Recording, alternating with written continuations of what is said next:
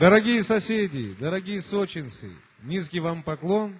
Большое спасибо за такую теплоту, за то, что вы пришли.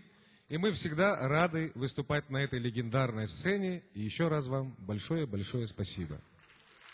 До новых встреч!